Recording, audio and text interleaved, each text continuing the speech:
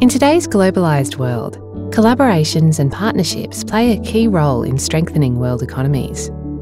India, one of the youngest demographics and fastest growing economies, and Australia, a leader in education, training, and research, have been steadily growing their partnership to set new standards of international cooperation. The Australian Trade and Investment Commission, also known as Austrade, promotes Australian trade, investment, and education to the world.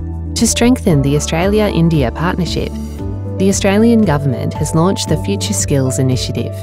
This initiative aims to help India and Australia partner for success in vocational education and skills training.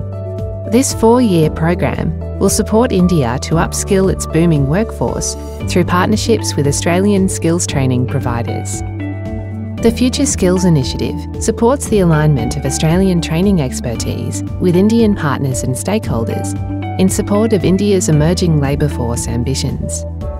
The initiative facilitates collaboration between Indian universities, training institutes, and industry partners with Australian tertiary skills training providers. There is a strong opportunity for Australian and Indian institutions to collaborate on the delivery of joint skills programs, short courses, micro credentials, virtual live capstone projects, as well as ongoing projects such as skills centres of excellence and partnerships in support of specific industries.